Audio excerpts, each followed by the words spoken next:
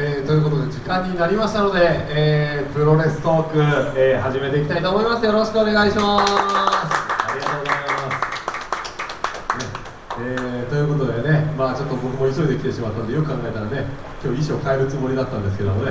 ああの本さんよろしければ僕のカバンからあのちょっとせっかくなのでレフェリングジャージを用意させていただいてもよろしいでしょうか。あ多分裏の方にありますんでね。はい、えー、ということで2月に一遍のね。ああちょっと待って待って待って待って後ろの方にあ はい。はい。ちょっと待って待って待って待ってください。はい。ダメいいんじゃないですか。あえ？ダメですか。え一応最最後にね、はい。えー まさかね、あのいいわゆるねあの、通常の、ね、出演者に、はい、そうなましたが、えーまずはじゃあ、えー、金子ももさんから登場していただきましょう、よろしくお願いします。はい、えー、そして、えー、カールゴイツさんよろしくお願いします。今日もね、NWA のベルトを持ってくれたということでね、NWA いいんですよね。あ、なるほどね。はい。えー、そして、えー、重心さんよろしくお願いします。ね、はい。ね。もう前回もね、あ、あ、すみません、あの重心さんがちょっとあのユーストの配信の角度を気にするというね。はい。はい、すみません。はい、そして、えー、まあ、あれですよ、普段ですと、この4人プラス、えー、南宮ということなんですが、はいまあ南宮はね、まあ、ちょっと今日、あの、ラジオで来れないという。ダブルブッキングダブルブッキングしちゃったということで、はい来れなかったんですが、はい。全然代わりというわけじゃないですよ。はい。本当に偶然、あの今日ね、はい。あの重心さんが、はあのフェイスブックではい。告知してくれたんですよ、あ、このイベントありますよ。イベントありますよって、は告知してくれたんですよ、はでその告知の中で、まあ、ちょっとね、あのいろいろあって、はい今回はあの新潟の選手特集をやろうと。い。おお。いうことを言ってたんですよ、あまあね今回新潟出身の選手、はいはい結構今も多かったりはいするじゃないですか、うんって言ったらちょっと気を利かせて、は重心さんが、はい。とある新潟出身のはい。レスラーの方を、はい。ほぼ名指しでちょっと呼んでみたんですよ、あ、なるほど。名指しで、はこの人来てほしいと。い、。そうただ、はい。なんかよくあるじゃないですか、い。なんか、あのー無理な人を言うみたいな。あー、なるほど。絶対無理だろ。絶対無理だろうみたいな人を言うみたいな、はい。そういう気持ちで言ったんですって、はい。そしたらなんと来てくれたというすごいですね。はちょっと見切れてまはい、もう何度も登場しておりますがはい。ゲストゲストでございます、はい、マッスル酒井さんですよろしくお願いしますこんにちは。よろしくお願いします。はい。ねえどうぞどうぞ。どうぞ。どうぞセンターにはい。ねえあのすいません。なんか。あいいですか？おあ、あ、これは。ありがとうございます。あの笹団子紹介で作ってる。はい。シールじゃないですか。回してください。え皆さんもいいんですか？いいんですか？いいんですか？いい。いんですか？じゃあ。皆さんじゃあ今日1枚ずつ。はもうすごい。こよれはね。だってこれあれですよあの DDT の両国大会でも乾杯したという。ああの人にも。はい。俺ああの人どっかで会ったことあります？よね。あのあのねこれ僕わかりますよはえっとね多分ですけどサントピアワールドであはいあ。どっかで会ったことあるなと思って。い。あの呼んでもらった側の人。そうだそうだそうだバルガートの。いや不審者ですね。不審者じゃないんですよ。じゃないそうなんですよ死んだな。はい、そうなんです。はい、ということで今日は、マッスル酒井さんも含めてい。い。お話ししようといやぜひぜひ、逆にいいんですかって感じですよ。はい。いやいやこんなたくさんのお客さん。いやいやいや。ね両国経験してる人そうですよ抽選ですよね。抽選。もうほぼ合コンですよ。客席が合コンですよ。さすがです。合コン合コンですよ。合コン。ね男色 D の選手と試合した後だから男性同士でも合コンできるようになってるという。ねえ回転が速い。ありがとうございますはいおお、はい。あありがとうございますね。はい、まあ、おかげさまで、お客さんの回転も非常に早くなっておりますけども。あ、はもう帰りました、誰か。い。え大丈夫です、大丈夫です。今日はね、終わってくれると思いますんで。はい。ね、あの、シールもらった方は今日帰らないでくださいね。よろしくお願いします。じゃあ、皆さん座っていただいて。帰り道に曲がり角を曲がるたびにはい一枚ずつ貼ってってください。やめてください。曲がり角を曲がり道を曲がるたびに。ね家がわかるっていうね、はい。はいパターンでございますけどね。お葬式のねこっちみたいなね。あそうそうそう何々県みたいな、この人が死んだみたいです。ねいやいや俺俺死んだよ何？何言ってんですか。ということで、い。やあのちょうどその DDT さんの両国の大会と、はい。はい。あとあの例えばですけど高橋裕次郎さんがネイバーのベルト取ったりとか、高橋冬樹ならぬね。そうです高橋裕次郎裕次郎はい、高橋裕之さんは今体鍛えてらっしゃると思うんですけど高橋冬樹について触れてないのが俺気になってしょうがなく。てあそうですか。あーいやいやいや。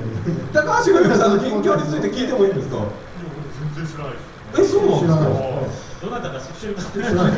あのすかはい。ですか？あはい。の残す方ですか？残さない方あの選選べます。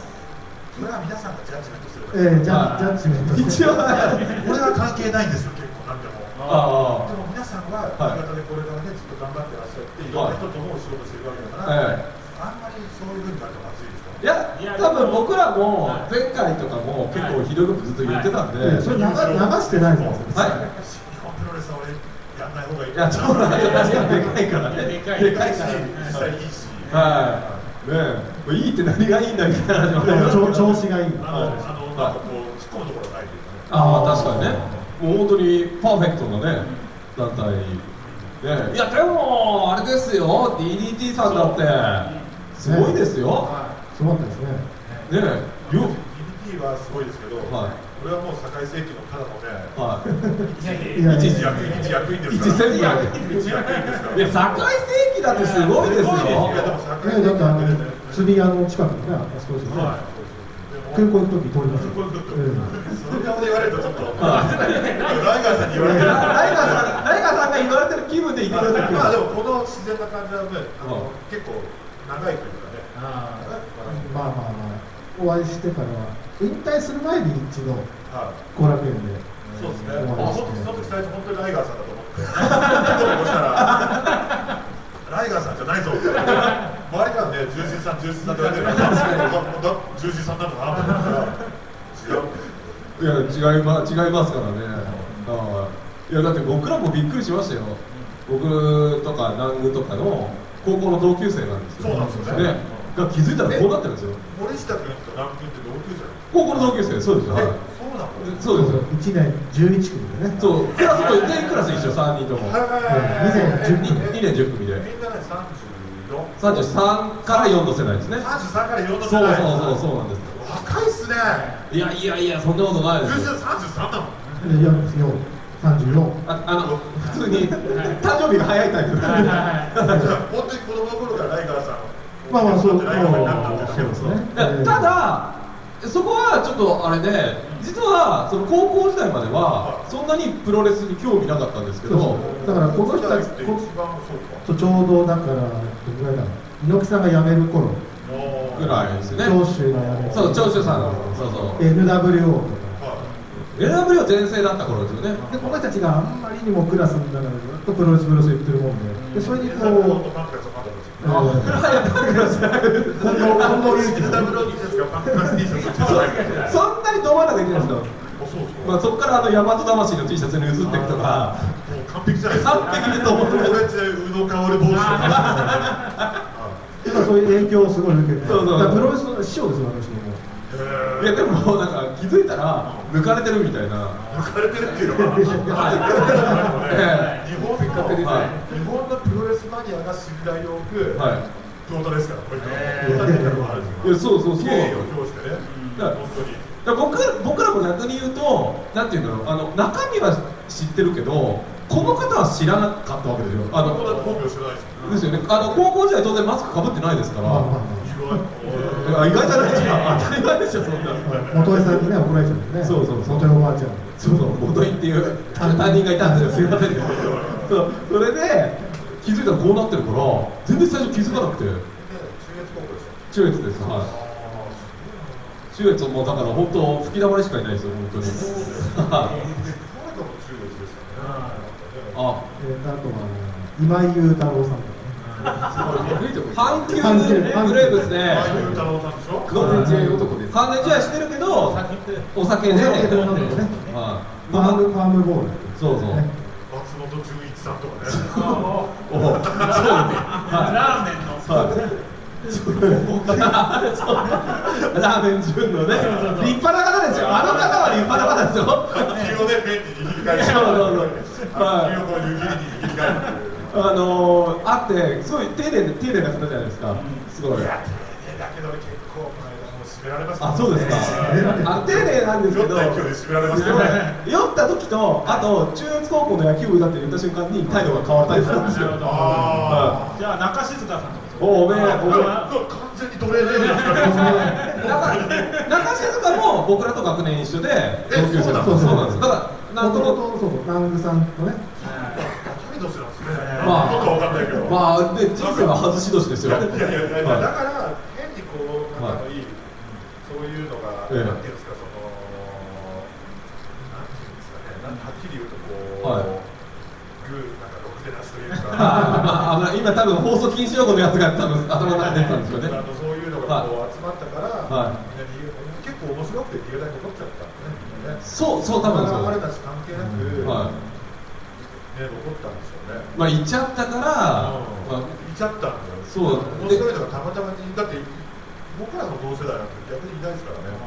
僕はあ多分マツルさんと同い年77年77僕も77年生まれあはいはいはい。結構77年生まれってどうですか？つながりがないです。つながりがない。いろいろやっててもつながりがない。はい。新潟？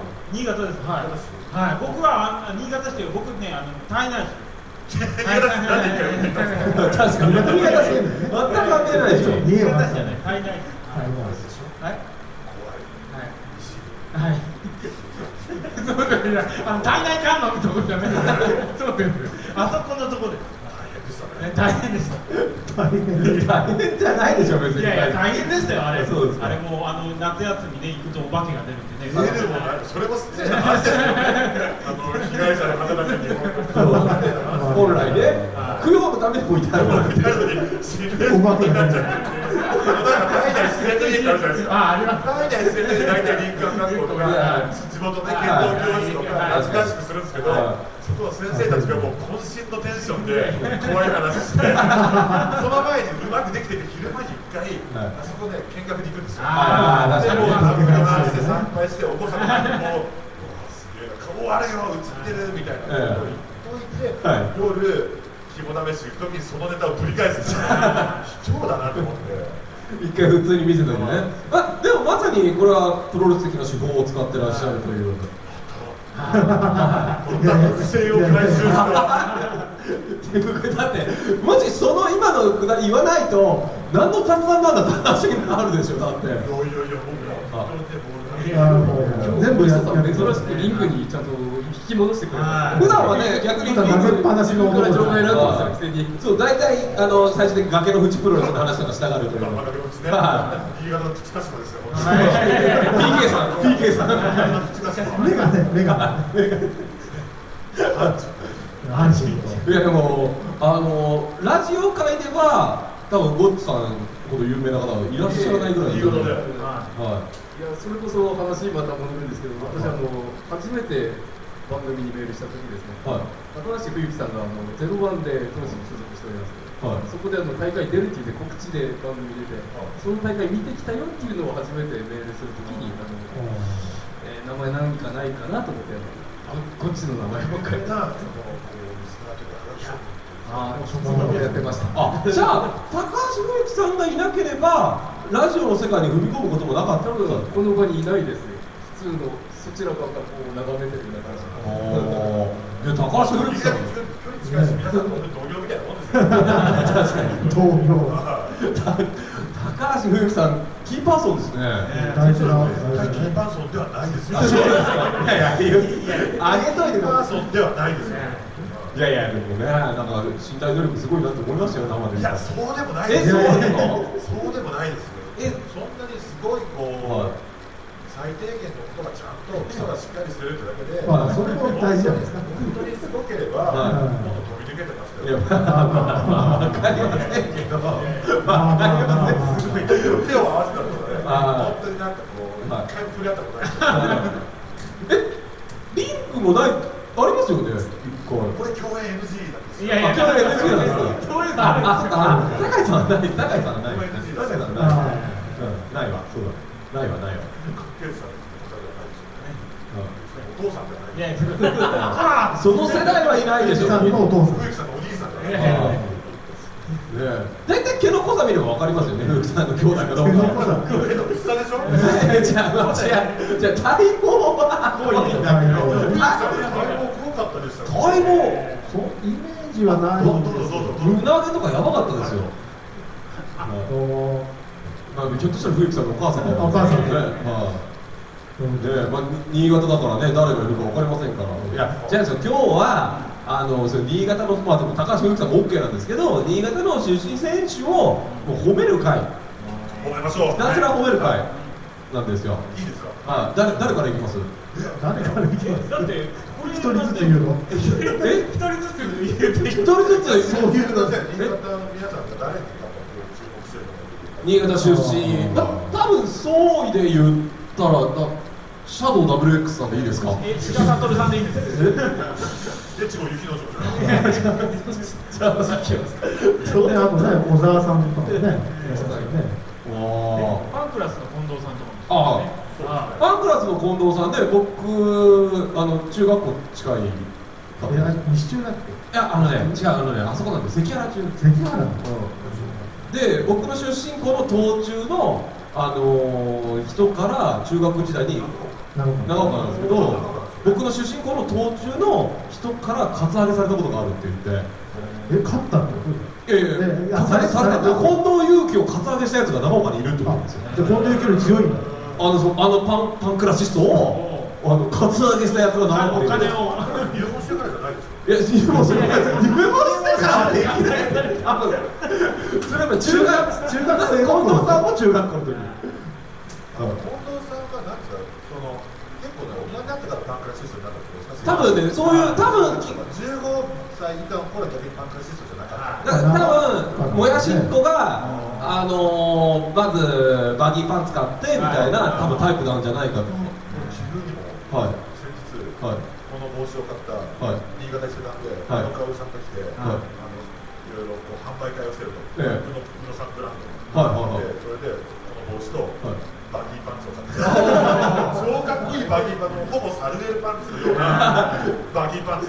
1万3000円ですよ。高っ3000円のグレーのバギーパンツはまあ、正直結構きついんですよ、当然俺がはいバギーパンツなのにきつい、はいはいでもう裾がキュッと締まってる裾がもうこの辺もう七分丈ぐらいとか止まっちゃって、足首までいかないバギーパンツを買って、はい。それをもう俺もう、まあ、なんだちょっと裾を切ったぐらいにして、はい。変形ズボンの下がちょっとやってるみたい。なちゃんと切って、俺東京あの大きな強い気持ちになってきて、はい。東京行きました、そうなんですか。両方これだけですね。ああバギーパンツ履くとなんかね。惑わせる何かがあります。ありますそうですよね今日はバギーパンツそうですね。ね。このイベントに来る時ぐらいバギーパンツ履いてきてくださいよ。あんなもんからバギーパンツとウエストポーチは鉄板ですから今ウエストポーチ それでリベラにねちょっと行ってねアンチズワールドのアンチズワールド新潟で買えないですからねバギーパンツ基本的には。売ってないの？確かにこの間ねあのちょっと売ってそうなコナミスポーツはい。新潟駅南は行ったんですけど、バギーパンツみたいなそういうものはちょっとこうかぶいたトレーニングウェアは売ってなかったですね。いああ確かにかぶいてますよね。まあやっぱり大体ね東京とか行ってかもしくはあのゴングの最後のねあゴングの。ゴングのご両親通販で。通販で買うっていう。いやそんなことよりもっと新潟出身そうですよ。バギーパンツの話今日するために酒井さん来てもらったわけで今じゃあ逆に現役って誰ですか現役ってえ新潟出身。いはいはい。やまずはやっぱり新日から行った方がいいでしょ。はい高橋裕次郎さん。高橋裕次郎さん。と、はいはい。あともう一でもう、まあこれは言っちゃダメなんですでもでももう一人。まあまあ。すごいのがいます、はい。なんかあれですよね。結構いいこうおしゃれな名前の方ですよね。知らないなえ？あそうですいやなんか横文字で。おしゃれな名前。あ横文字な。まあまあその二人がいてあであとはまあレッスルワンのレッスルワンね。サンダー選手が確かに最初に。見た瞬間なんか出るああ練習生というか、あ全部本能えどどっかであれなんなぜか武藤さんにはい全日本プロですよ飲み会みたいな呼ばれてたことがあって飲み会だけなんですか飲み会だけ呼ばれてた正直いつらなんてみたいこと言われましたけど、サー席のね、はあのサンリオ系の。あはいはいサンリオの内田さんですよ、内田さん。ああ、ささ元社長。あれ、それをてもらってて、えで、全選手全員で、はい。あの一人こう1000円ずつ出し合って、これあれなの、どれなの、1000円ずつ出し合って、はい。あの総取りのじゃんけん大会。あ社長とかもう10万とかですね。うわーとか言って、うわー。ママさんとかうわーの歴史歴史歴史に歴史って一人じゃないレスラーでも生活かかってるじゃん。それと合わせると17万とか18万になってるんですよ。そのじゃんけん大会で、はい俺もう勝つ気全然なのに勝っちゃって、優え優勝したんですか？勝したんですよ。ええ飲み会しか来ないのに。お願いしますって言って返しますって言ったんですけど、いや、そういうわけにいかないみんなスポーツマンですから。ああそこでちゃんともらってその時にやっぱ澤田君って、はいなんかこう、なんかね、こう、わかんないですけど、練習生って、もう本当にもういろいろ抑圧されてるじゃないですか。はい。自分の個性なんか出せなくて、うん。でもうしょうがないからアンダーアーマーの T シャツか、はい。あの支給された団体の T シャツのしかない中で、うん。彼はかたくなにハイスタンダードの T シャツをし続けてたんですよ。確かに。好きなんですよね。まあ好きで、はありがた的ですそねれそれがなんかそこなんかあ結構彼は、この人は貫くんだな。あ顔ソース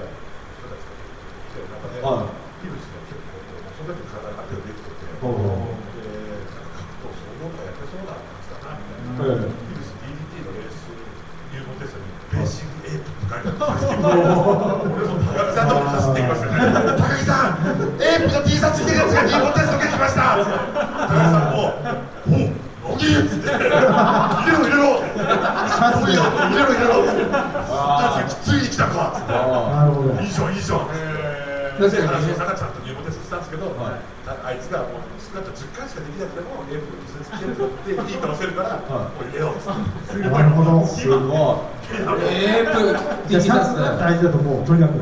大事ですじゃあね、もうさんもシャツ気をつけて。そう黒井健さんがね、こういうはいマスクさんが着てる着てきますけど、100%落ちますね。こうこういうあれでしょあの人差しが低いもんだって。あれでしょ気持ちがない。NWO とか着てったら落ちるわけでしょ。今は逆に通ります。あ今今の通る。いや、LW の T シャツだけど、はい。下が、ええ例えば下が、こう、わかんないですけど、はい。変まあ、例えは合ってないですけど、ええ。下がこう、グラミッチの短パンだったら、いやそさんは。ああだ LW のグラミッチを合わせて。ああそ確か NWO の新しいニューエラ提案ニューエラのキャップをか。ぶってるああやっぱそれはでもあれでしょ結局あのセルフプロデュースがする能力がありそうな感じってことでしょ？そうするともっともらしい話になっちゃうから、まあ、わはははでどんどん過ぎよう。あそうですか。なんかいい話。いい話にまでいかなくていいなんかもっと良くないえこうなんか俺結構褒めてたのえ調子ついてあーすごくいいほとんどダメなダメなやつ MC 力をすごくいい MC 力出してきちゃって違いますいやいい話練習生になった方がいいですよあいい聞き手になりますよああそうなんまあでユーズライン入った方がいいいやいやニュー裏方方裏方です裏方十分いいっすよ。へえ。じゃあニューズライン入りましょうか。ね入ったでしょえやったらライターでライターライターじゃないですよ。ちゃんと表からの仕事がねあるんですよ。ねサッカーやってますかわか。らんよいやいや何絶対やる絶対やるわああこれはダメです。あります。あります。からなこっちはなくなりましたけどあその団体です。かこれこれレスルワンです。よもちろんあのそうだったんです。かあのいやそれそうそうなんでそれ持ってるのこれね多分レッスルワンってあれでマット・ママリンが最初に出たやつだよねああそっちの昔の超す。ごいやつだからそっちのあのそうなんです。よあっちのあのコンタクトがずれて負けたあのいやマット・ママリンがああれはあれは UFO UFO でしょ？あれ UFO? UFO レジェンド。あれ UFO だっけ？そうそうそうそう。日テレでやってる。あれ？でもその前の前の方だからボブサップボブサップとムタとかね。あそうそうそうそうそっちの方。ゴールドバーグ。そうそうそう。ゴールドバーグ対オールドバックがスピードバス駅から歩いてあそうそうそう。そう。あリックスタイナーってやつ行っちゃうとバカ野郎ってあそう。画面がね効果音がついはいたりしたそうです。ででターザンさんがね解説でフジテレビで。あ剣道貸してサブっていうだけで変な無駄な効果音がでそう一緒にしてかといってね。石森大地の日本ってさあーはいはいはい。そういうのあったりとかして逆にあれはこう語るべきところが多いというかあそうなんですねあの全体としては最終的にはなくなってるけど功績は大きいっていうよりのやつですね沢六海さんと野沢さんが全日本えにー参戦するきっかけが東京プレンタがはいあ全日本にの後々きっかけになったのが、あそこで武藤さんと出会ったというあメまあ骸骨のラパルカあの辺のあのそうなんですよねいやあの違うんです今日新潟出身のお戻しました。はいそう今日は新潟出身の。で今サラン選手までちゃんと行きましたからね。裕次郎さん。うんまあほんまああほんま8割ぐらい言っちゃったけどはい。高橋植木さん、はい。高橋植木まあ置いといてで真田選手。は現役でしょ、い。はい元気です。他まだいるんですか？まあいやいやいますよ。里村芽子さんですよあまあああそうですそうねはまあね勘十郎さんとかああ、八郎ね。あはあ保坂秀樹さんもい。大阪秀樹さん。あ一気に行っていったな。メジャー級はメジャーだと練習生とかいるんですよね、多分ね。忘れてますよ僕ら大丈夫ですかねご存知の方いればねいないいないか三人は結構でかいですよ。え今言った3人っていうのははい。新日本のイベンあ二人ト。はいと真田誠也父さん話せやるっていうのあは。なんかそういうこの20代が。輩出してるっていうのはもう。あはい結構すごいですよね。誰の功績なんですかこれは、いや、誰の功績っていうと、はいがまあ、ガチで言うと、なんかこう、意外と新潟のやっぱレスリング、アマレスのあ人たちがでかいでしょうね。あそうですよねの勘十郎さんもそうですよね。三十郎さんは慶応工業でしょあそうアマレスの下地あアマレスの人たちはでかいですよ。アマレスで、あの、巻き、巻きの、はい。巻き銀、巻きってレスリング。ああがあってはい。その牧野先生とかが結構その若い人30代後半ぐらいの人で夫婦でやってらっしゃるはいで地元の子たちを、まあ、自分の子供がすでに3人いて、その子供たちがこれから本当に間違いなくこう世界レベルの選手になってるんでしょうけど、ああの新潟の多分こう山本ファミリーみたいな山本キッドあみたいになってるんじゃないかなと思って。そういうのがあってで俺3歳の息子がとりあえず行っとけっつってあ僕僕キッズに言ってもらってから言ってて、そこの人に多分こう真田君とかちっちゃい子教わったりとか一緒にレー。スにやったりとかしてたらしいんですよねああ昔の教え子がレー。スが見てそのブログブログ書いてましたあそうなんですかプロレスやってる人やったら一言も言ってないですけどまだバレてない顔顔バレてないそうそう僕は行かないようにしてるああなるほど。いずれ名字でバレるっていうパターンに。ああ大丈夫ですかまあ大丈夫。です大丈夫。ですかね大丈夫。です低いんでいやいやいやいやすごい言ってないじゃない何言って4点も来てますいや。いやえ四年も来ただからそのよ上それとはあと一回新潟プロレスに帰っていはい。ノアにあー左にいて、はい。宮田プロレスにいながら、はい。ノアの入門テストを受けて受かって、そのテストでやめて、はい。課長フル課長フルに戦い続けてる服部健太、はい。慶応高校そうですね。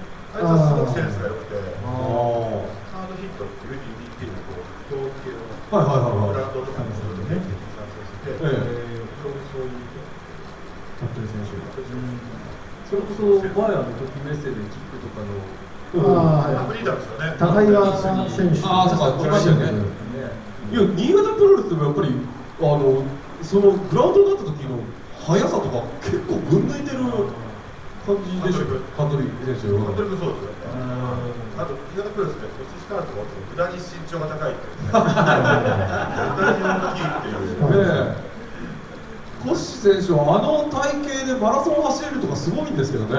フルマラソンね、うん走ってフルマラソンすごいなと思ったらそのそのさっきのトギメスの4月の試合、はそのその試合の2日前ぐらいにフルマラソンを走ってでフリーダムス出てますからね。そうそうなんですよなんか、配分、人生の。アスリートとしてのペース配分、ものすごく悪あそうですよね。マラソンはできてもうん人生のマラソンはできてもなんかどこか、な、何かに絞った方がいい。まとまってないですよねなんか、うん、わかんない。多分ですけど、ちょっとしたアドバイスできるとしたら。集中と選択ですね。はいそうですね確かにこの間のあのあれ両国でもね、あの絞ることによってっていうパワーポイントの説明ありましたからね、はい。そうですね。はい。大事なことですよね、まあ、そういう意味では、まあ、その辺を絞れば星から選手もはい。これからは行く可能性い。も、今日に集中すれば。本業あプロレス。本業ってどどプロレスですね。いやだってコシヒカル選手としては。業績上がる。あ会社の業績が酒井さん自体もそうなっちゃうからね。僕はどどっち？酒井さん？酒井さんはどうどうしていきたいまあ3つですからね。3つ。え？あとまあプロレス業とはいあのまあ当然金型。あと笹田ご紹介の3学つ。学生もそんな紹介はもう一緒ですよ。あそもう全部あの一緒にしました。あのホールディング化しましたね。あああそういうことか。子会社持ち株会社。みたいな業務にして、はい。プロレスのギャラも社外政府にこの笹田工事業務の口座にはい。入れてもらうことにして、あそうなんですかじゃあじゃあまあ。まあ2万でも3万でもこうやったあ。ら、八千代口座のギャラをそこに入る全部？はい。あなるほど。じゃああれだ。領収書生産。ああ源泉かかんないってことですね。支払うにあ、それはだからそうか。多分。あ法人だと変わってきましたね。法人だと。源泉必要なくなりますけどいやちょっと待って僕なんか変なこと気づかせられましたけどそうなんですよ。まあいいんですよ。まあまあというような今ぐらいでいいですか？いや学生としてもね大学院。そうです。ああそうか。学生もあるのかやばいです。かなりやばいです。あそれもどうですか？絞っていく感じなんですか？あお知り合いです知らないです。ね。あそうですね呼び込み絶対。あはい言わないですよ。マイク使っていく絶対面白いこと絶対絶対挨拶しかない。あああ歌舞伎町であそうなんですかあのキャバクラとかそういうふう多いですよね絶対なんかこううざうざそうしました。ああえそれは顔はあれですね誰か見てます。ああなるほど。ああまあ。えで、あのヘルスの薬剤ですか。はい。じゃないあの誰か。に聞いてるとかじゃなくてそこでしょ。そこが分かんなくても、はい。店長さんは結構紙プロって読んでますから、あ髪の毛とか髪の毛とか読んでますから、はいはい大事にしてくれるんですよ。あだから、例えば変な話、モンタの教養とかしちゃダメなんですよ、絶対。あー店長が聞くから、酒井さんどうだったっつって。ああああなるほど教養ユーストリーム残しますかしますかでこれはしないって言ってる。そう違法行為はしてないからねえでも、まあ、確かに風俗店ってやたらなんか意味もなくプロレスと関係あるようなあのコースがあったりとか。あ、そう、逆に教えてもらって何それ俺最近疎くて。ああそうなんですか。なんかとかあとなんかなぜかプロレスと関係あるようななんかそのフェアみたいなのがあったりともう G1 クライマックスにな。ってそう全全全キャストの全風俗像見せ残あのあの最後すごく決勝戦進めるみたいなああの G1 なんであの G を見せ合うっていう。おおはい G を G をめっちゃ面白いあくまで一対シングルであシングルマッチはい G を見せ合う。それ新潟じゃないでしょ新潟じゃないです。これやっぱりん。なのあったらやっぱり新潟に G1 来ないですから。基本的にむしろタッグマッチあった方が怖いじゃないですか。確かに。いやタッグマッチはタッグマッチは超面白い。ですよあと実質だとできますよね中間マッチです何やったとこ行ったら橋塚かあたりが本当に面白いでも中心さんがもし G1 行ったらあのあくまであのバトルライガー形式じゃないとジュニアジュニア枠なんでね。ジュニアこそ入れてもらいたいですよ。これがこれが最近から被ると持って一番きました一番本格的な遊び方ですそうそう。それでねかぶってシャワー浴びて帰ってきたら向こうシャワー浴びて帰ってきたらちゃんとあそれでまあそうですよね。でもそういう人いらっしいやゃる新潟のはいプロレスの話なんですよはい。そうですねそうこのプロレスの話なんですよはい。そういう意味では重心さんが一番顔バレしないんでそういう話しやすいですけど。いやいや。そういう意味ではね。いやいやで違うもこの格好で立たない立つものが立たないですよ。あまあもうねそういう。あもう一部なんでしょ？人行為する時もその格好。で まあまあ基本的にね生活はもうサスケさんと一緒ですから。脱がない脱がない。そうだね。あのこれごとあの顔洗うとね洗顔だってほらねサスケさんも電車とかでってねあの写真撮れたり切れてますけどね。いや関係ねえよそれいやいやそれそれぐらいせそれで生活してるっていう。ああなるほどね。ちょうどね本出された頃に。はい何だったんですか？時間も。あ時間。時間ああるんですよねあねえあそうですよね。まああの ということで、まあ、これぐらいにしておきますか？新潟出身そうですよ。えだっていやでも他にまだいるでしょ。あのーはい。鶴巻信弘さんってまだやってる。んですか鶴巻さん。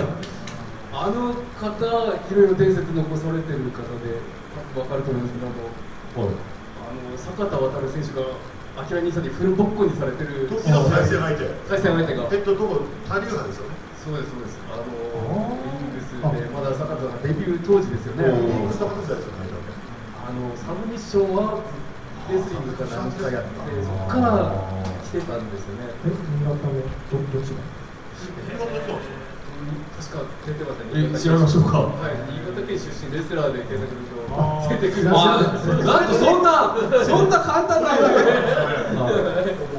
あ入ってる入ってますでしょなんですかそのお土産構成いやもうサバカえあえな色であ赤いからえっとこれここが青なんですよあ落ちたねいやさ本当はそれは入ってるんあですよねありがとうございますこの缶は酒井聖輝さんで作られてるんです。いや絶対ダメですよ。あそう。ですかなんすか？なんかお土産買ってこようと思って。はいありがとう。ございますこれ高見忍さん大好きああそうなのこれ嫌いな人はいないはいあーそんなうまいんですか？えちょっと待って今？え今？そんななんかスイーツみたいに？え？はい。ねえ。ちょっと待ってくださいね。3つあるってはい。あ一覧みたいなのーああジャイアント山の。川雄一郎さんなあえプロ野球ジャイアント。ジャイアントもわかんないけどこれプロ野球で出てました。すいません間違いこっちじゃないです。よ掛布さんそうなの？掛布さんで一時新潟にいた。生まれのましたねそれ知らなかったああちょっとすこれ古いですねデータがね。キラーカーンさん。だってだって高橋裕次郎さん出ないで保坂さんシャドウ WX さん出てますよ。まあ、誰ここ誰なんか小さめだと思います。はい JWP の池田愛美さんはもうやめてますよね多分ね多分ねもっと前ですか、いい一番いやちょっとこれは良くない一覧ですね。はい東京女子プロレスというところに来ておりますあ、おえっ、と、あの、何でしたっけ、怪獣が好きな。いやあの中島、え、違うの、中島選手。中島翔子翔子あ、そうです、そうです。上越の方。え、じゃあ、つながったん。そうです、そうえいです。結構若い？じ若い若い結構ね、特撮マニアで。はい売れますね好きな怪獣はアンギラスだそうです。よく知ってますね。もともとコンビを組んでいるあ、お笑いだったんあ、ですそうなんですか。相方も今ある状態大活躍してて、え？はいこの小山と新の世界で、はいはいあののお客さんに、はい中島っていうか、すごいよろしくお願いしますって言われたんですか？え？ジャイアンナイト出身なんで。あジャイアンナイト？ああじゃあジャイアンナイトで踊ってた人なんですね。はい。結構小柄でね。小柄であ。じゃあそういう、まあ、本質的にプロレスラーよりやっぱりしゃべりショーマンシップの強いでしょうから、多分なんとなくですけど、はい。生きてそうだなっていう感じがそうああジャイアンナイトをねやりきれるってことはそれなりの体力ありますからね。え？ジャイアンナイトで作ったね。ジャイアンナイトは相当体力使いますからね。あちなみにえ皆さんサンダース山さんって新潟出身なんですか？糸魚川市そうなんだ。はいなんだ国際の人でそうですねはしょライデンドいライデンドロップのはい。すごくこれも中途半端な皆川健太郎ね。はい。全然プロレスラーでで好きな方ですからねはあ好きい。や、皆川健太郎さんめっちゃすごい。らしい。ですよ。え、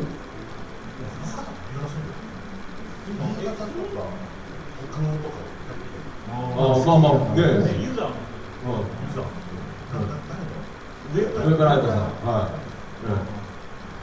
はい。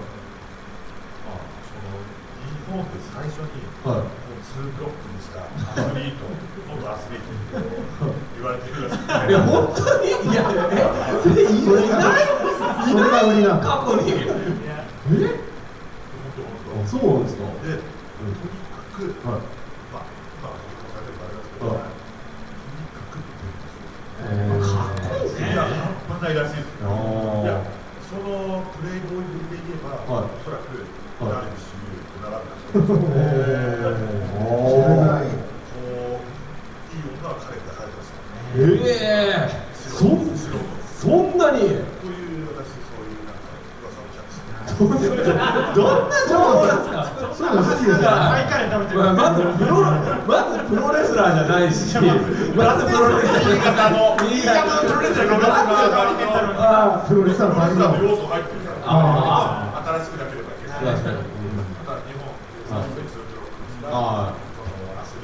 付加価値がね。そうそういうことなんですか？なるほど。先見性がないとビジョナリーじゃないとやできない確かにしたんだね。そう。アスリートで初もんなんですよまあいいでしょう。アスリートツーブロック日本初で検索してる。ああわかりました。いいでしょう。それで出たらね。アスリート日本え？これあれ楽天です楽天と関係があるからと使わなきゃいけないいう。いやそんなことない。です別にいいですよ。Google でも。日本初、えー、あとが2ブロックか。2ブロック。いいですか？いきますよ。誰が出てくるでしょうか？サッカ普通これこのままだとサッカー選手出てきちゃいますね全然出てこないですね。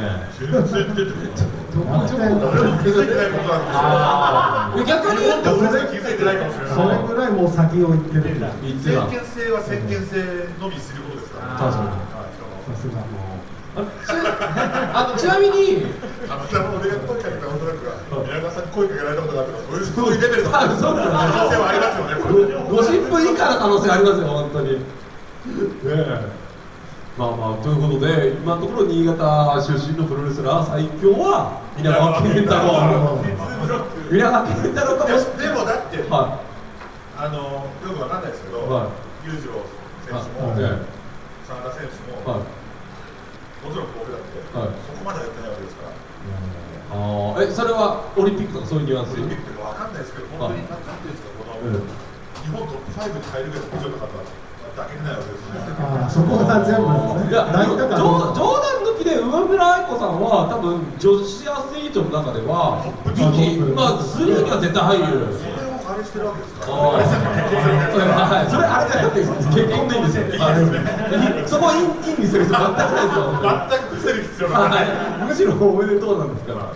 まあ確かにね、そこでもうその方のその男性としてのクオリティの高さがなんかそういう意味では、そういう意味で考えると、はこう沢田君とかはい。はい裕次郎さんって、この女性に人気があるというか、その表の、表のというかそういう、はい。明るいっていうか陰と陽というか、はい。そういうこう、まあ、爽やかにこう持ってええ。る沢田君と、はい。本当にこうなんか好きな川島明をこう、はい。今日は割とこうポルノグラフなこう女性をこう、いはいはああ裕次郎さん抱えられる裕次郎さんってやっぱかっこいいですよね、確かに確かに。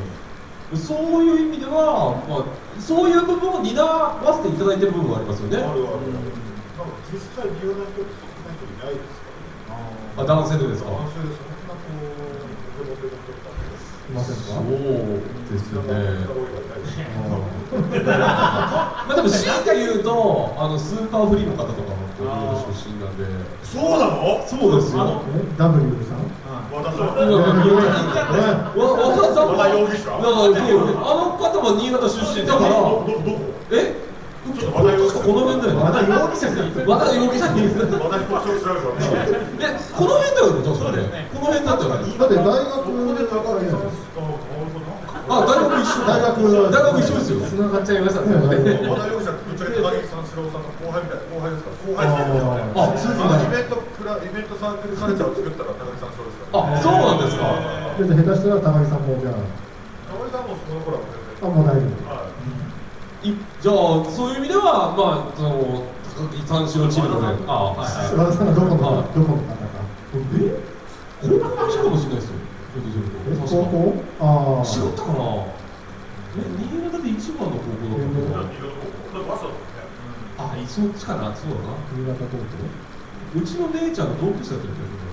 大学やられてんじゃねいやいや大学大学高校の高校の高校の。え踊り場で階段のその時はすごいやばい間違いなくないですから大丈夫。まだまだ高校時代多分なんかその高校生すごくやたら活躍されたしそうそうそうだからやっぱ東新潟ああのどうどうさんどうさんしましたこれは調べちゃダメみたいなこれは調べちゃダメみたいなはいはい新一郎さんねそうですかね。あの近藤選手をカツアゲした何中サークルの中でまあアウトサイダーに上がってるとかそういうのはないですよね。アウトサイダーねだねから大阪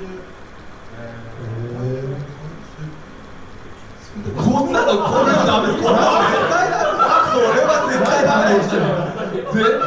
そんなことできんの？すごいね。日本ですよここいやいや。でもそれが乗ってるってやばいですよね。あレてるそう？バレてるってことですよ。やばくない？これ。これは画面に出なきゃ OK だ。これ拡大しないでくださいね。これね。これね。はだいぶ年ですね。い7だいぶね77あ二分なの先輩だ。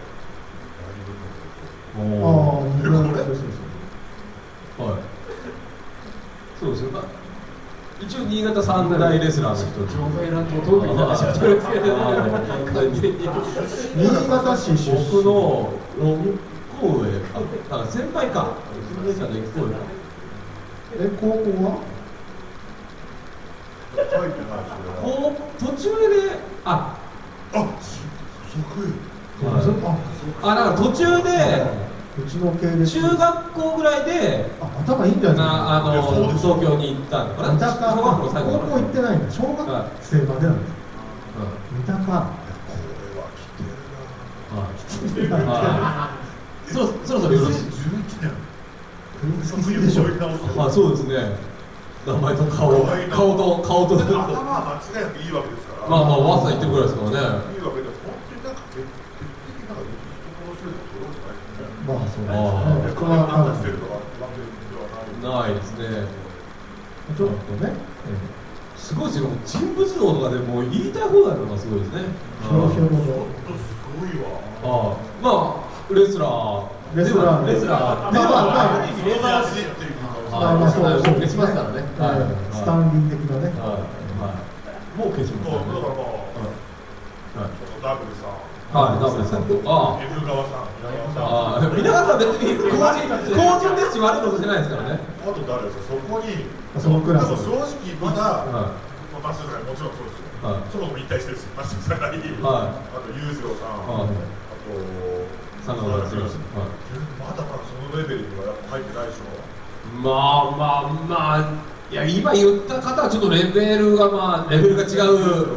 はまだリオとは結婚できないわけですリオみたいなそういうあー。しないとダメじゃないですまあそそっち界のトップクラスに行ってほしいわけです。僕らの時代でイージーマイクラスっていうことですよね。はい。はで真田君は誰に結婚したんですかいまあ爽やかな方がいいからなんかそれこそ猪木さんが大将さんみたいな。あとか。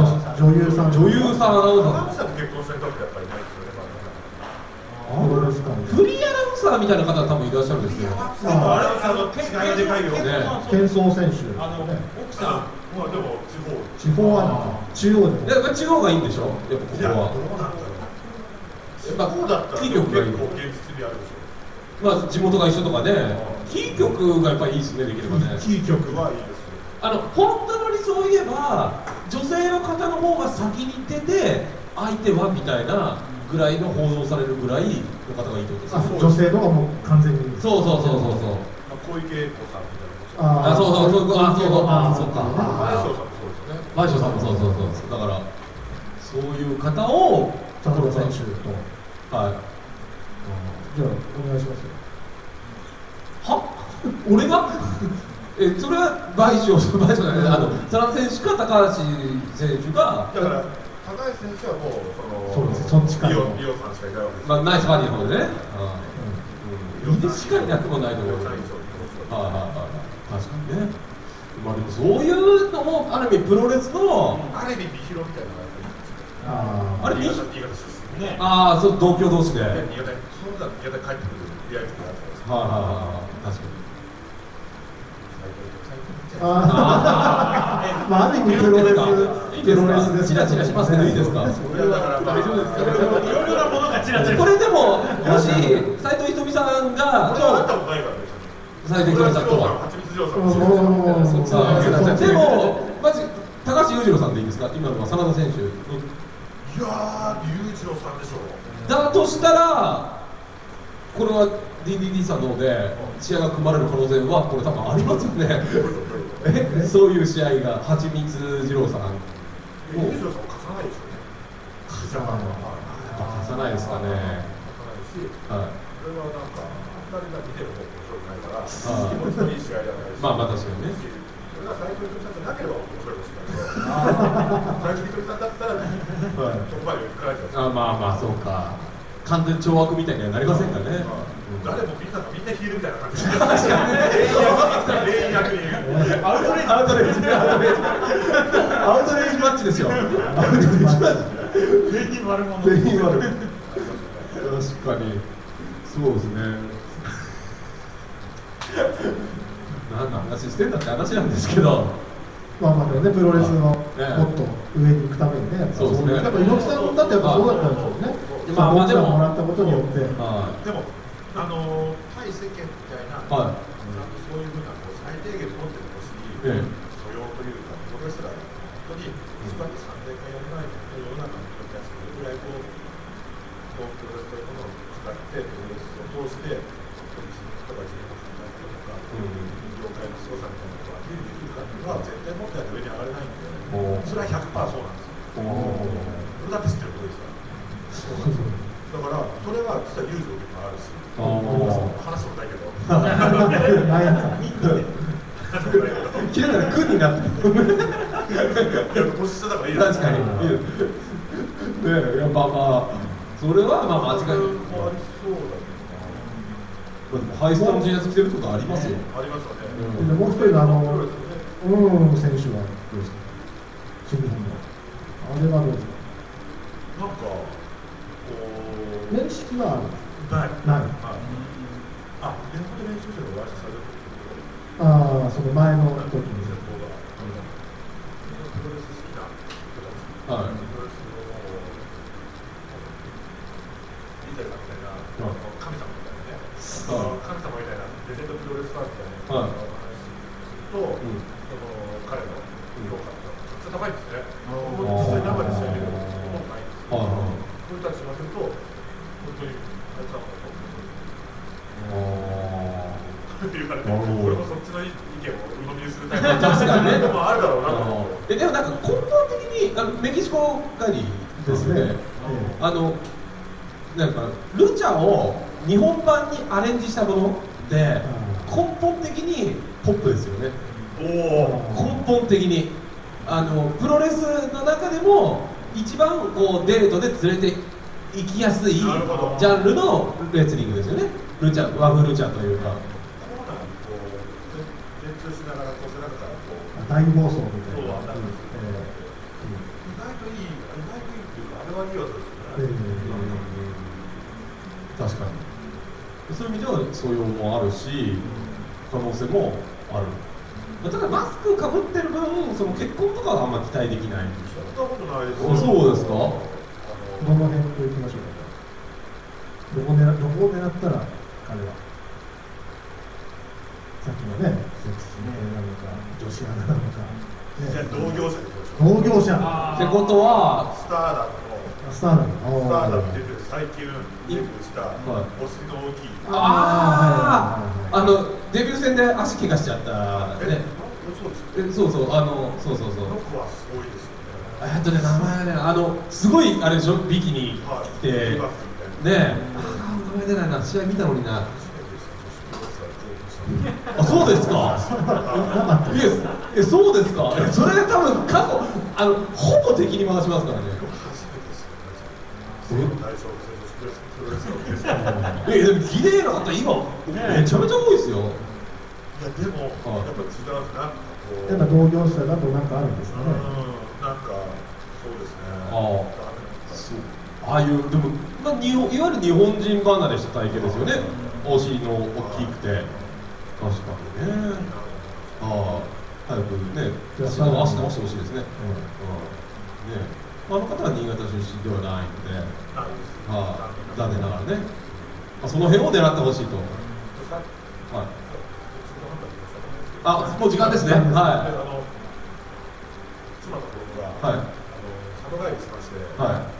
で今日今日からはい。で、はい。でこれから久々に家族食事に行かないといけないんですあそれは邪魔できないです ね。だらここに来てることは俺明らかにされたくて、はい。まあ今日帰り7時半ぐらいになるかなって言ってきてるんで、ああっと帰ります。これは帰らなきゃいけない明日から帰ってきたよ。そうですね。ここで皆川健太郎の話を。そうですね。だからそのあの感じは一切忘れていただいてもう本当にパパに戻って。あそうなんですか。絶対違いますよねなんかねはい。で一応あのーナッツルさんとしては今後の試合はないですけど盟友の笹野マシンさんはこの後新潟の試合まず、えー、と今週のそっちのチケットあそっちのチラシのね徳島ボルティ戦のアルビの試合に出るしあと9月27日サントペアワールド大会も出られると、まあ この日あそうですね。裏裏あでもに銀 FST 祭りですよね、20から。はいなんか生放送だえ朝と夕方なんかあれだ。中継？中継？え？いややってる放送部え？やってるコースター生だっていうえでもやっちゃうコースだったら朝だから。あなんか2時 ,2 時ぐらいとなんか1個ある。そうなんですか？うん。忙しいですね。引っ張ってきてくださいね。あのちなみに与田あさん。それははい僕僕もあの一応呼んでいただいてるらしいんですけど。アルビレックスです僕はまあサールベックさんなんですはい。や欲しいね。はい。そうなんですよ。タイトルマッチもありますんでね。あユージさん来るとあ来ます来ます。伊藤龍え？どっちにびっこっちこっちに伊藤龍来ます。いやこれだからびっくりしたでしょこれ。伊藤隆二さんとあとゴジャンペプロレスの吉田さん。同じ大きさじゃねえか。あ違うでしょこれ。あいや吉田どっちがそう吉田これ誰とやるの？伊藤さんでもさすがのさすがのオーディションマスクマンのデスマッチって本当に見栄えがしないし顔が分かりづらいしせめてしそうどうにもならないです緑は白いマスク白いマスクにしたいねせめてせめて白いマスいやもうじゃあじゃあ白鳥でいいよ白そうなんて話してただけで心が折れるな本当レスラーの風か誰いやでも誰誰ですから誰ねがカミソリボードとかそういう鳥ねそもそもそういうのやるのえお食事すればお食事好きですよお食事ないあ今回はないよサントピアワールドでは出しますよね。はい。まあでもメインは関西っていうか要はプロレスの方がメイン。でファミソリを生中継するの？生中継じゃない。生中継？だって生中継。えです。え？これ生中継は違う。違う違う。違うカミソリなんかでプロレス NG ですか？あ MC ですはいプロレスラーも NG なんですよあそうなんですか？確かに。プロレスラーだという今日隠して出てますからね。あそっか。プロレスラーの方とスタンス酒井さんとしてははい偉いけど跳ねられるのダメだプああ。ロレスラーとかは。あの曲はあんまり出せないみたいな。ななんか方式がちょっとあそうなんですね感じがじゃあ専務としてしか出れない面白い工場の専務がいるっていう北村プロデューサーがいてだからそのさ一回呼んでみると面白いって言うからあでどうたら、はいなんかちょっと出てきたら意外と面白いな意外と面白いね総選挙にそうでも優勝はエグさだったそうそうそうそう組織票でね組織票でね組織票でまあまあぜひね笑うしかないよはいぜひえーアルビレックスとかあるね。あそうです。あのこれえっとあさって？あさあさってあさってですね。はい。さ完全に気が抜けてますよ。対戦相手が、えー、保坂秀樹さんで、はえー、新潟のタイトルマッチでね。タイトルマッチですね。しかも第一試合でしょ。タイトルマッチが第一試合。このつもりがわからない。しかもリングも。はい。あのえミニリング？ミニリングなんですよ。あ練習用のリング夢で。夢ファクの。それをそこで。また中央イベントリースがなんかこうそうそうあれしていいのかなハー。ドにこう100キロ以上歩いたらあーバツンといくとバツンとやり合うと本当に怪我しますというかええ硬いあの硬いから本当に怪我しあそっか広さがないからその分やっぱり硬い硬い硬いしあ100キロ同士の人は俺と保坂さんがお互い。を持ち簡単に持ち上げられちゃうからーあないんですよ俺は俺はじゃあねだって保坂さんって長根式フランケンシュタインだとかやるね確か。にやるよねあとバット。ああとそうです。そうです。あの写真写真有刺鉄線野球会場だいやサッカー会サッカーサッカーサッカーボールでさ有刺鉄線サッカーボールとかあったらいけるんじゃないですか。はサッカーに対して失礼。あそうですか。そうですか。何あとサッカーボールキックも NG でしょうね。ああ確かに選手サッカーボールじゃないし。確かに。これからサッカーボール真剣に蹴って仕事をしてる人たちに対して失礼でしょ。あ俺たちのサッカーボールだあ確かに。PK もダメですか？PK ダメですね。PK もダメ基本的に蹴り技全般 NG です。ねそうですそれを仕事にしてる人たちに失礼でしょ。確かに。こっちも仕事なんじゃないですかいやいやいやでもねやっぱ責任が違う。それ言ったら多分ヘッドバットとかも多分禁止ですよ。ヘッドバットですね。あとはあれですよ。今回のワールドカップで話題だった噛みつきも禁止ですああそうです。あいやダメです。よダメですあ出せませんよ。あとあのねソングって選手がエルボーで退場してますからね。エルボーも。ダメですね。はいもうこんなんあれじゃないですか。十字架固めとかそういうのしかできないみたいな。あれで込みの我悪い々はね最終的にはあのヨーロピアンクラッチで決まるっていうようなだからある意味こうんう、まあ、サブミッションルールになるでしょうねあ今までこう隠し持ったナイフをこう出すみたいに来るでしょうねあ要はアブダビコンバットみたいなええ。試合に保坂選手と。保坂選手が。保坂選手と。アブダビコンバットみたいな試試合。合というかまあそのグラップリングのマッチを。ですよね。これはもう見逃せないわけですねじゃ見あね。逃せないでしょうね。見はい逃せないし。見逃せないで逆に見逃せないでしょうね森下さんはもう見れない。全然見れい。やない俺見れないんですよ。俺俺はスタジアだからムロースターだよ。すげえさもう格差感じると思うなこれいや本当はスタジアム内にやってもらいたかったんですよなんか。ないでしょう。言えないよ。てかそれあんな見え見えあのでもなんかたまに国立とかでやるじゃないですか。あああいう感じで。アリーナ席ないけど。そこにミニリングで。ミニリング。ミニリング。X1 なのにミニリング。ローロープワーク2歩半のビッグスワンの会場内で丸め合いは多分確かにね。細かいしかもだって天気がまた良かったですからこの前のほら柴田でやった時すごいマットが熱くなって。うん本当あれさあの一時期のウイングでやってた鉄板マッチみたいな。もうあやね。焼肉マッチみたいな。ああいう感じでしたよ本当熱くて。あやめ祭りの時ね。あやめ祭り。人をあやめるというそうそう。ねあやめ祭り。島重のは人をあやめる。そうですあそうですそうそう人を親ベルの次だったはい、飲めます。そろそろあの、はい、はい、はい、親と待って、そうそう、親で、カードで待ってる。じゃあまたぜひ、はい、機会がありましたら、はい。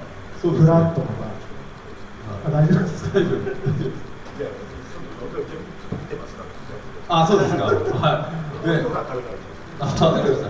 食べてる、食べていいですね。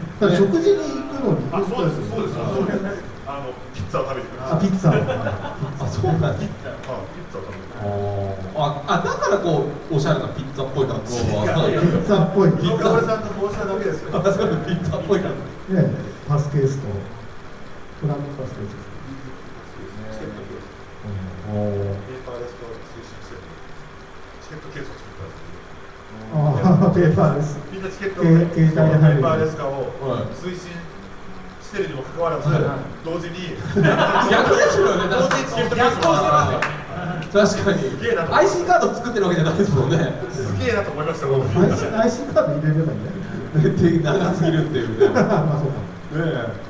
いやあのそうそうあのこれからやんなきゃいけない話は、あの今後あるイベントは。あ松山勘十郎話してくださいよそう松山勘十郎さんとあとえっ、と仙台ガールズの里村芽衣子さん。があの先ほど言ってた2人があのそれぞれ、えー、興行を行うということで。地元凱旋みたいえー松山そうです松山選手に関してはもう完全な地元田上初のプロレスという、9月の14日ですね。は日曜日。で、この翌日もあるんだよね。9月はい15日は、い、ね花鳥風が来るの。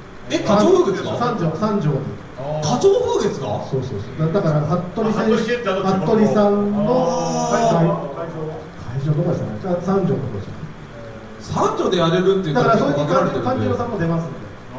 だえー翌日も出る。戦争ですね僕は三条プロレスは黙ってるんです三条プロレスあのね、三条プロレスは黙ってると思いますよ、ええ。多分ですけど、三条プロレスが一番面白いでしょ間違いなく。あの三条プロレスの選手、俺は思わないけど三条プロレスが一番面白いと思いますたまにあのノアの前座とかでそうそうそうそうそう。見たことだけどだって三条プロレスはそれが多分あのノアの会場では多分あ本領あの発揮したい本気は出さないでしょ。あー。遠慮するでしょうね。少年会とかじゃないと。そうじゃなくてやっぱライブハウスじゃないと彼らは出さない。基本、シアタースタイルじゃないとねあ、あできないですもんね、要はあの4面にお客さんがいると、あんま全力できないタイプで、いやいやいやままマットだあ四面でやよくないんだよ4面だけ、あマットプロレスであそっか、でも俺は分かんないけど見たことないけどはい、三条プロレスじゃないかと思ってますあ一番は、一番な見てない新潟プロレス新潟県の新潟プロレス、いやいやじゃあまあ新潟プロレスもいいけど三条プロレス三条プロレス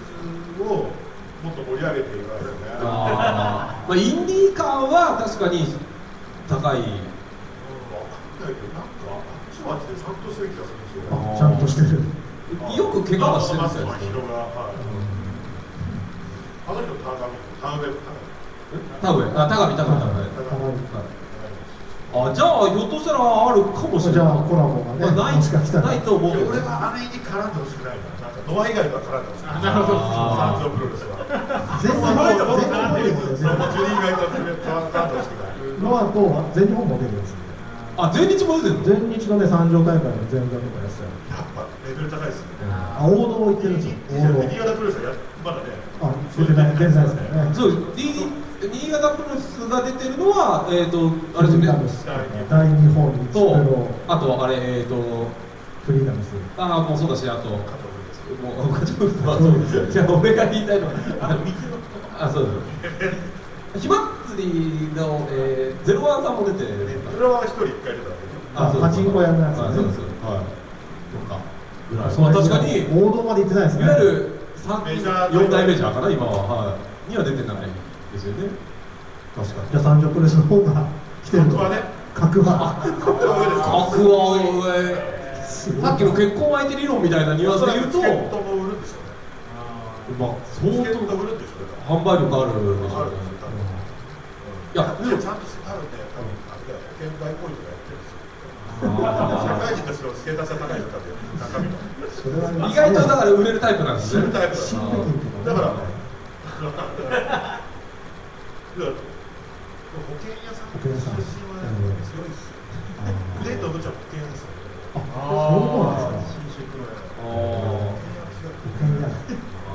あ、やっぱり営業力ローカルィは保険屋です。さんは逆に保険屋をやるべきなんですよ。マスクやめて、マスクとやりながら保険屋さん。保険屋さん確かに、あ、そういうことか。他のネットワーク的なのはダメなんですか。やっぱ保険屋はいわゆるネットワーク的に。大そうああいうああいうの。そういうのに入ったりとかはい。いやいいんですよそれは。ネットワーク的なの。まあまああのネットワークやってまずサージョプレスがネットワークマっていうかネージャーが一番苦笑いしはい。企業の大劇ま団あ、おおあれはネットワークビジネス。じゃないないんだけど誰も笑ってないぞまあいい置いといて、それは置いといて、置いときますよ。あの、それまず、タイガミのプロレス祭りはぜひ。團十郎さんぜひねねはい。これと衝撃的なビジュアルだと思いますけどねこのボスだって。これこれでもねすげえ怖いけどまあまあまあ。これプロレス界初のポスターかもしれないですよね、この感じ。まあまあこういう人がいないからね。見たことあるすごく楽しい怖い。よね。この顔ですね。そう怖いけど前衛感がすごいですよね。見。たら見たらちっちゃってなるわけですよ。うわって思う。たまに俺らね。よっぽどバランスなきゃダメですよ。たまにイベントされてますよね。あのえどこで？ほら最近できたじゃないですか。プロレスが。あ、あの、よ、ストレージャー。この近くよにね、ストレージャー。この辺に？うんあのよ、吉田イタリア県のまあまあイタリア県のまあまあぐらいの。あ上がってすぐええ上がってこうでそこにたまにいらっしゃって。に、新潟市がケロクラブ以来の。プロレスバーですか？らプロレスバーサムライミレブラシステム。あ、そうなんですか？裕次郎さんとかもまあ。あ、裕次郎さんのバースデーパーティーあー8月できたとかあそうなんですか行ったことないあ、行ったことないね。ああ、名古屋さんも呼ばれてから行きますよ。じゃいや呼ばれない感じ。あ。あ、で、いわゆるメジャーな感じ。いやそんなこともない。あそうなんですか？あ、そうか。いや、まあ、そう、そうかってでも言いづらいけど、まあ、そうか。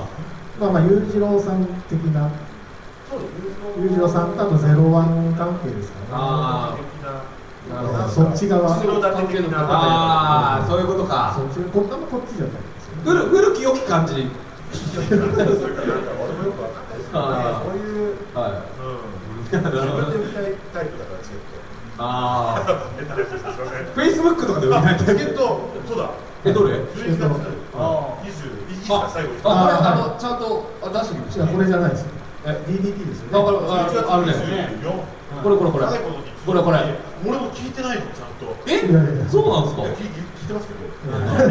どっちだ？あリリースするよって聞いてないよでもリリースされてましたね。もうされてますね。11月24日月曜日の祝日に、えー、13時開演。お昼ですね。はい。えー、前売りが、えー、6000、4000、5000、4000円ということで、会はい、場が富山富山体育館第二級体育館もう3回目ぐらいですよね。そうえあの笹中紹介でチケットが使いましえたあはい。あじゃあ買うことによって堺世紀の売り上げにも貢献できる。貢献できるし、はい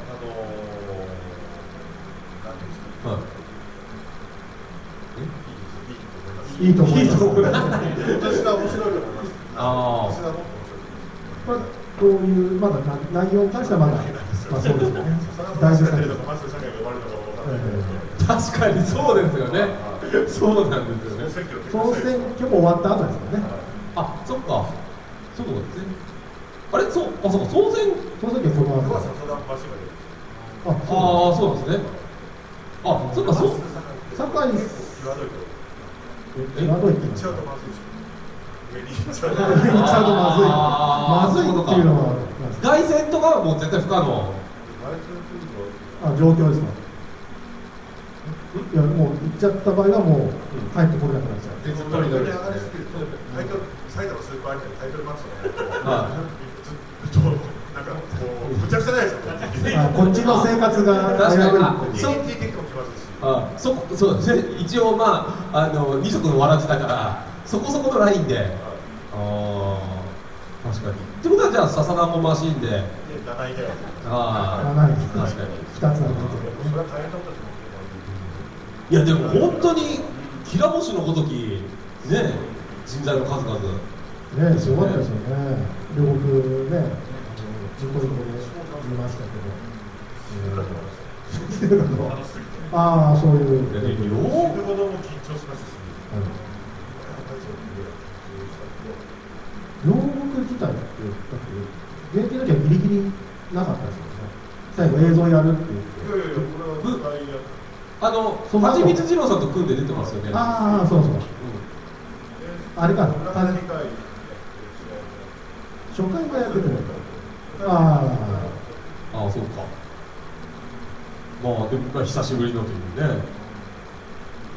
逆に富山体育館でやるのは緊張するんですか？あやっぱ知り合いがいっぱい来ると。来るからね。あんまり緊張しないかもしれないですね。地元感があって、はいはいはい。でそこでぜひ皆さんね、あそうです。ここに皆さんきっとはい、買ってくれますよ、買ってくれるんですよ。使っていただけるんで。はい。40代40万40万うちが5枚持ってる、まあ、持ってますよ、もっと数字持ってます何ですか村上の谷町下げて江